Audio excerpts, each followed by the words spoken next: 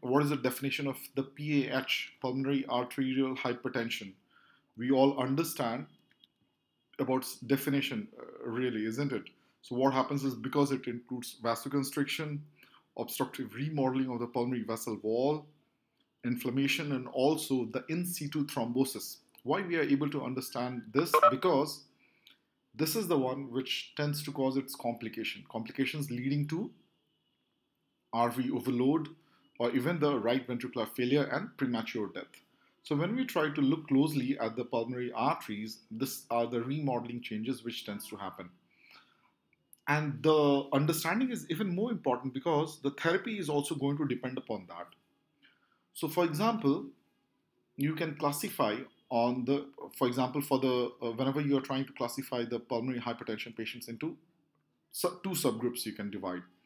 So one is the one which is where the pulmonary vascular resistance is more than 3 Woods unit and where the PA wedging pressure will be less than 15 millimeters of mercury. While there is a, another group in which the etiology is mostly due to the left-sided heart diseases in which the wedging pressure is more than 15 millimeters of mercury and is associated with LV not only systolic dysfunction, diastolic dysfunction, and also the valvular diseases, in fact. Similarly, there, there can also be associated lung diseases. Lung diseases, how will you classify them? So when you do the wedging pressure is less than 15 millimeters of mercury and is associated with most of the common diseases are COPD, interstitial lung diseases, sleep disorder breathing, or even high altitude exposure as well. Similarly, the other causes are also there, like in which there may be multifactorial reasons, like the splenectomy, vasculitis, sarcoidosis, or CRF as well, or sometimes even secondary to the thrombolic, thromboembolic remodeling, in fact. So coming to the classification, they are divided into four groups. The first group is the one which is also called as idiopathic familial or the ones which are associated with the connective tissue disease, portal hypertension, HIV infection, drugs and toxins, and also other diseases as the hemoglobinopathies, myeloproliferative diseases, and splenectomy as well. Similarly, what about those other venous or capillary invo- involvement, those diseases like the pulmonary veno-occlusive diseases or even the hemangiomatosis?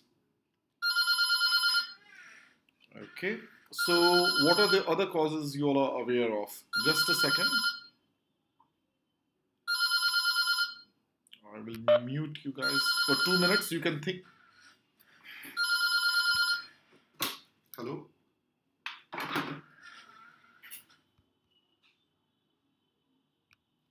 So, uh, do you all, I hope everyone,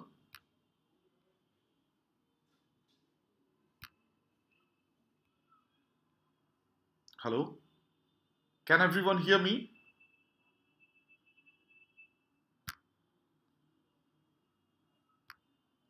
Hello, Dr. Narendra. Can you hear me? Yes, doctor. Students are able to hear the faculty. Kindly respond to the faculty. Okay, perfect. So now coming to the other causes. So what are the other causes which can cause? So as I was telling you that there are a lot of connective tissue disorder as well, which we all have to rule out. So if the yes, wonderful. So there will be patients who may be having, especially like systemic sclerosis. So if a patient patient's PH is associated with systemic sclerosis, particularly poor prognosis is really associated with them. Similarly, if someone is having a congenital heart disease, so we all are very much aware whenever those congenital heart diseases patients tend to grow up, they are the ones, for example, up to 15% of them will be developing PAH. So it's a very big number, in fact. And what is the reason? Is of course uh, the most common type which is encountered in them is the Eisenmenger syndrome. So the so what will happen is the blood starts flowing due to the pressure differences. Uh, okay, and what about so what is happening is also the newer infections like the HIV.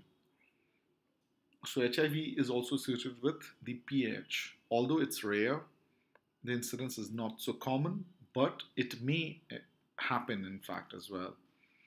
And uh, although it has also been shown that it is irrelevant to the immunosuppression, in fact. And sickle cell di- disease as well, which we all are aware, it's a genetic disorder of the hemoglobin.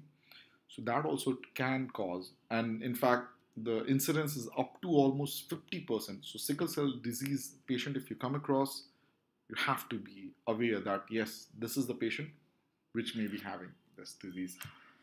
So when whenever a patient comes to you with the clinical problems, the signs or the symptoms, you can classify it into four classes. Those four classes are similar to the NYHA classification, in fact. So in the sense, so class one is the one which doesn't cause any significant limitation of the physical activity. Class 2 is the one in which slight limitation is there. And only when ordinary activity will be causing the dyspnea, fatigue, chest pain, or even near syncope as well. Then comes the class 3. Class 3 is the one in which it causes marked limitation. So, for example, they may be comfortable at rest, but a little bit also they will try to do activity, they get problems. And then about the class 4, even at rest, they are symptomatic. Now coming to the incidence. So incidence is a rare disease. It's a rare disease, yes, but uh, with a prevalence of almost, I would say, like 40 to 50 cases in a million. So it's not too much, but yes, it is. It you may be able to observe them, but the thing is, most of the times they are misdiagnosed, not inappropriately diagnosed as well, especially with uh, if you come across a HIV patient, sickle cell disease, systemic sclerosis, then you have to be really careful to look out for all these kind of diseases as well. So, um, coming to the sexual disposition, it's more commonly seen in the young women, especially around the age of group of 36 years, in fact. Okay. So similarly, the one of the reason remains is why. Why does it even develop actually? So, as we already said, it it involves multiple factors. It's a pretty complex disease with uh, involvement of biochemical pathways and a lot of different cell types as well. That is the reason, Uh, due to the involved vasoconstrictors, vasodilators, as nitric oxide, prostacyclin, and also thromboxane A2 and endothelin 1, they are the ones which is involved. They have been trying they have been developed trying to use, trying to decrease the etiological factors which tend to cause the PAH. So, for example, endothelin. Endothelin, what happens is they tend to take care further to helping to fight the fibrosis, the hypertrophy, the inflammation, or even the vasoconstriction. And prostacyclin, I think you all are already aware, this is a very potent vasodilator. Nitric oxide as well, it is one of the EDRF. So, what is EDRF? Endothelial relax, endothelial derived relaxing factor. So we all are very much aware about the symptoms. So the patient is going to come with complaints of breathlessness, fatigue, dizziness, syncope, peripheral edema, chest pain, and especially which tends to increase on exertion. Earlier you are able to diagnose, the better is the quality of life which you may be able to give to your patient, in fact. So, but yes, uh, because the like the disease itself, the diagnosis is also complex. So the diagnosis can be delayed up to several years, in fact. And that is the reason uh, you have to be careful about this WHO classification. So, how do you diagnose? Initially, of course, is whenever those uh, patient comes to you, you have to suspect the clinical disease, or as I said, those uh, associated disease syndrome, which are associated with higher frequency of the disease as well isn't it? So, similarly, you have to try to identify the other causes of the pulmonary hypertension as well. Okay, and then you have to evaluate and also classify the disease, especially for its type, functional capacity, and also the hemodynamics.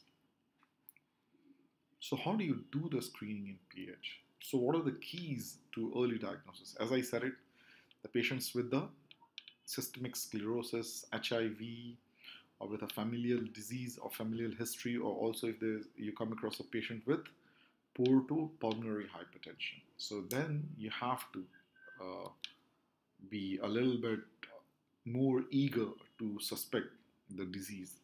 And I had already said it.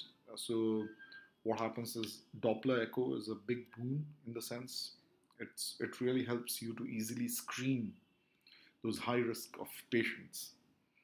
So what happens is you can definitely tend to limit the functional capacity of the patient if you are able to screen those patients regularly. So annual screening of the patients is very much important. So this is how you use the echocardiography. As you can see, the systemic pulmonary artery pressure is equal to the RV systolic pressure. And RV systolic pressure is four times the velocity square plus the right atrial pressure. Isn't it? So it's a wonderful screening tool and which is easily found. So what are the other things? How will you diagnose? So you can do is when you are uh, in the right heart doing the catheterization, when you are trying to go through the different segments, this is the characteristic waveform which you see when you are there in the different uh, segments of the heart. So, okay, so that's why it is called as you try to do what is called as the right heart catheterization, which is considered the gold standard. Okay, for this. So you try to see the wedge pressure. So, for example, what happens is so on the basis of that, you can even do the definition definition of the PH. So what is, as I said it, so what happens is it will be, a patient is going to be classified as a PH when there's sustained elevation of the mean pulmonary arterial pressure more than 25 millimeters at rest and 30 millimeters at exercise with a mean pulmonary wedge pressure or LV in diastolic pressure less than 15 millimeters of mercury. And of course, the pulmonary vascular resistance more than 3 Woods unit. And a positive vasoreactive response is defined as a reduction in mean pulmonary arterial pressure, which is more than 10 millimeters of mercury. You know, to reach a absolute value of mean pulmonary artery pressure of less than 40 with increase or unchanged cardiac output. So Nani Tej, can you mute your microphone please?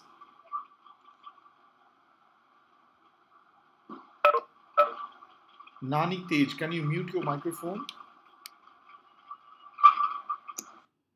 Yes, good. So as I was telling you, uh, now it's karim.com. Okay, good. So don't forget these values. These values are very important in the sense, as I said it, PH, how do you define it as? When more than 25 millimeters of mercury at rest or more than 30 millimeter of mercury at while exercising. Similarly, with a mean pulmonary wedge pressure or left ventricular end diastolic pressure of less than 15 millimeter mercury. Okay, and the pulmonary vascular resistance of more than 3 Woods unit, right? Similarly, as I said it, so you you will also be getting a positive vasoreactive response in such kind of patients. And so, for example, what is defined as the mean pulmonary artery pressure of more than 10 millimeters of mercury, okay, and it will reach absolute value of less than 40 millimeters of mercury, either with increased or unchanged cardiac output. So it's really important. As I said it, so this is the response, but also you have to be careful that a positive response is seen only in 10 to 15% of the patients, okay? And sustained response is even more difficult to say. So yes, it is important, but not always seen, positive response, okay? So the mean arterial pressure is the main thing, in fact, more than 25 at rest or 30 while exercising, and a positive response. Uh, with pulmonary vascular resistance of 3 Woods unit or the LV in diastolic pressure less than 15 millimeter mercury. So what are the other tests you are aware of? I think you are very much aware of the six minutes walk test, right? So in the what are the some of the things which uh, are important is you should try to make sure there is a 30 meter corridor which is available and you mark it at regularly at 3 meter intervals. And the patient should rest at least 10 meter minutes prior to the test and should not have performed any rigorous exercise at all in the last 2 hours in fact. And then you you have to ask the patient to rate his baseline dyspnea as well and then after going to the after walking for the maximum capacity but not to run or jog they ask them to rest as necessary. And yes you have to keep on counting each lap as the patient finishes it. And of course as as i said it at the beginning and similarly at the end of the, the test as well you have to ask the patient to rate the dyspnea. Okay so these are the values, as I said it, about the PH definition. The mean pulmonary artery pressure more than 25 at rest, more than 30 with exercise, and wedging pressure less than 15, and PVR, peripheral vascular resistance is more than 3 Woods. Parth Shah, mute your microphone. Okay. Now coming to the treatment. Okay, so now we all we are trying to understand what it is, what are the things which is happening? So now coming to the treatment as i said it uh, so we already understood the pathophysiology the etiology in detail. So the same thing those are the things which you have to also try to target okay to whenever you're trying to target the patient. So for example thrombotic state is there so that is the reason you have to try to give anticoagulants. Similarly Uh, yes, there is vasoconstriction. So for the vasoconstriction, what you can do is you may try to use is calcium channel blocker therapy. But remember that only 10, less than 10% of the, those patients also, okay, there's a message from.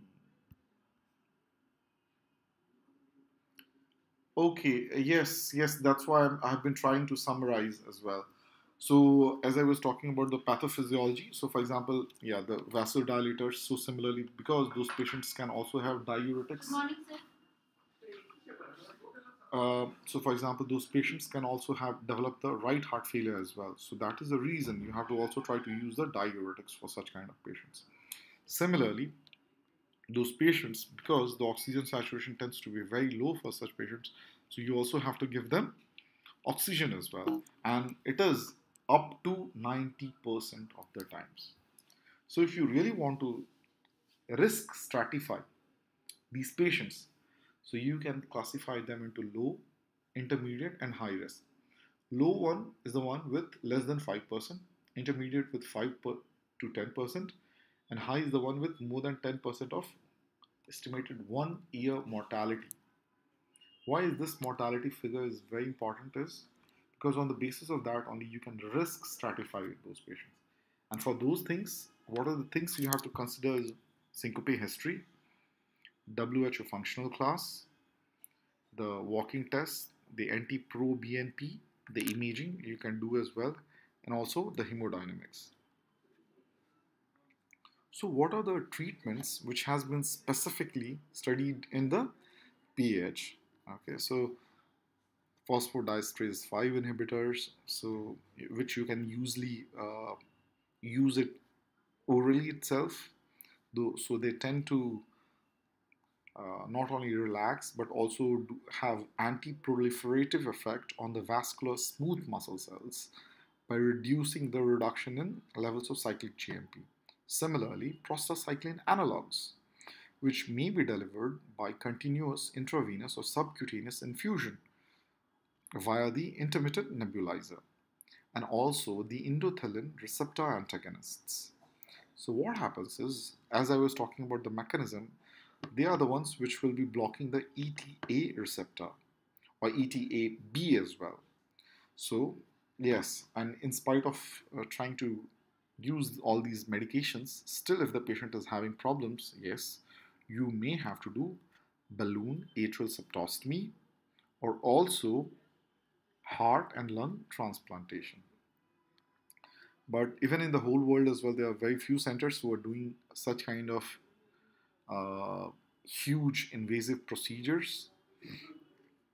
So now this um, table flowchart tends to summarize the treatment algorithm. Okay, so as you can already said it, so if it is a naive patient, so you have to first of all confirm the diagnosis using a acute vasoreactive test. If it is vasoreactive, you use a calcium channel blocker. If it is non-reactive, you will see the functional class. So if there's if so for the initial yeah you can always use initially is the monotherapy and you will try to see the response. If it is not working good, then you can try for the combination therapy. Okay. Similarly, if there is a patient who is with uh, WHO functional class 4 or someone with high risk, so you can always give them intravenous PCAs as well. Okay. And then you will try to see for the response. Otherwise, if you come across directly a patient who has already been treated outside, so you directly take them to the double or triple combination therapy. And then, yeah, even after all these things, if someone is not able to do anything, then yes, you have to consider for lung transplant. So one of the common question comes to our always mind is what about the therapies and how are they doing it? So I think you all would have already heard about some of these newer molecules as well. Something is called as macitentan. Macitentan, then selexipag as well is there. Otherwise, we all have already been using ambrisentan and tadalafil, or versus ambrisentan as well on a monotherapy. Otherwise, same way tadalafil monotherapy versus ambrisentan and tadalafil uh, combination therapy as well. So one of the important parameters which we all always try to see for is how about the number of events which is happening. For example, so we'll try to go in detail. So what are we seeing in this? So when they try to co compare macitentan monotherapy versus its combination with the phosphodiesterase type 5 inhibitors or prostacyclin analogs, you can definitely notice, see, so with macitentan 10 milligram alone, the patients without an event were one of the highest. And of course, the placebo was the lowest. So even in this, what we can notice is 10 milligram of macitentan should be preferred compared to the 3 milligram. Okay, this is the same uh, graph, a little bit zoomed out. So 10 mg is, is much better. Similarly, when they try to compare the selexipag as a monotherapy or in combination with the phosphodiesterase type 5 inhibitors, okay, so what had happened is selexipag had a much more favorable outcomes in fact. So when we try to have a closer look, similarly, although for uh, ambrisentan monotherapy, its combination therapy was much better. Okay. Similarly, same thing applies for the ambrisentan and tadalafil uh, combination therapy as well. So this is a, a very beautiful, great uh, slide actually, which I came across. So in one slide, whole of PH is described. So it's a we'll try to go slide uh, stage by stage actually. So what do you come across in this slide? So what do you see? So these are the so in few minutes we'll also try to summarize whatever what are the whatever we have learned so far. So coming to the causes first of all for the PH we know so it could be idiopathic connective tissue disorder, COPD, congenital heart disease, hemolytic anemia, HIV, chronic heart failure, or cirrhotic portal hypertension, or even iatrogenic as well. Then, so uh, do you all remember what were the other causes as well for this? Just try to use the chat box to write. Yeah, Boban? Haha. Haha. EEG, uh, get it done. हाँ हाँ हाँ EEG आज ही कर देंगे अभी कर देंगे और शाम तक में डिस्चार्ज कर देंगे ठीक है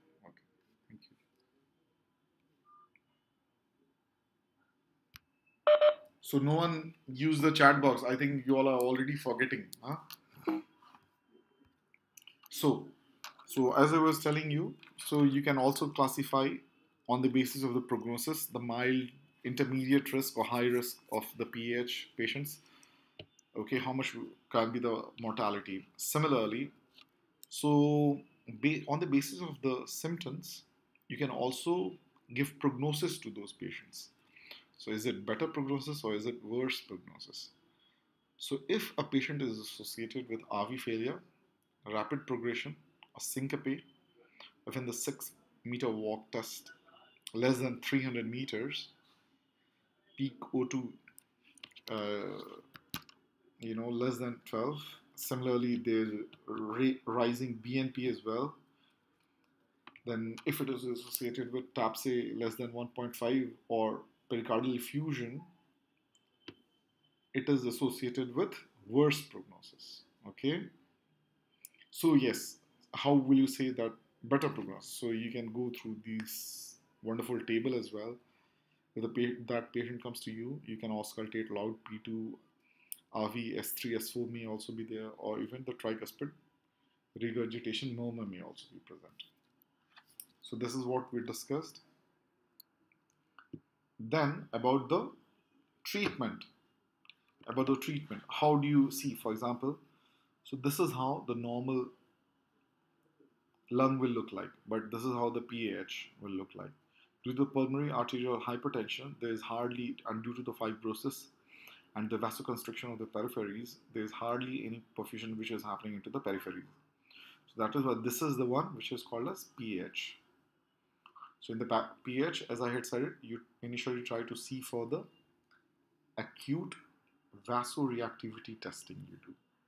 So if it is positive, yes, then you can use oral calcium channel blockers. And yeah, if you get a good outcome, yes, continue CCBs. If it is negative, so then you have to risk stratify them. Is it low risk? Is it high risk? If it is a low risk, you have to you can give them monotherapies. Okay? And if they start worsening with time, then yes, you may consider combo therapy. Similarly, if it is already a high risk patient, so you must always give them the combination therapies. Combination therapies, or otherwise with epoprostenol or treprostinil or iloprost as well. And as I already showed you, some of the newer medications as well.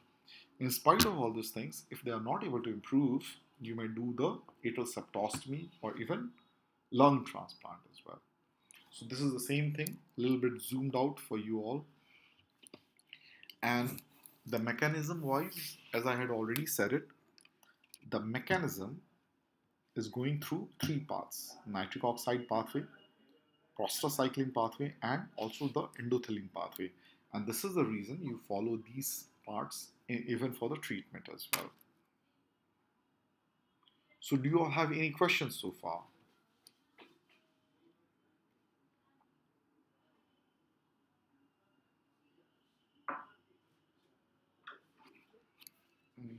If if there are any questions, uh, you can just uh, write me in the chat box.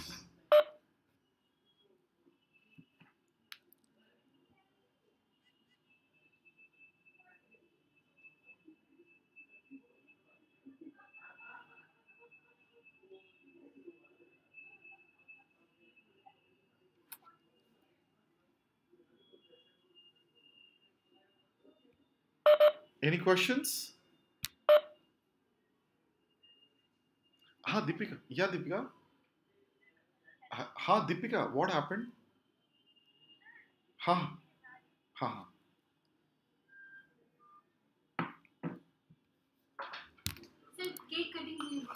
मैं पाँच minute में आता हूँ पाँच minute ये मेरा lecture खत्म हो जाएगा हाँ। So are there any further questions now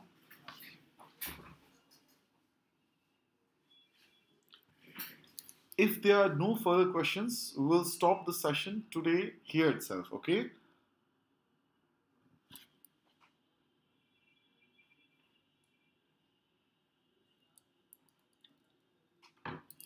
Are there any questions?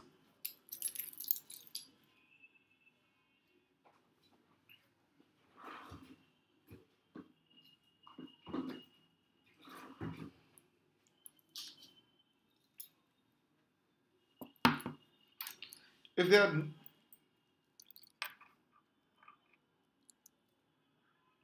if there are no further questions, we'll stop the session here itself. And you all are always welcome to uh, write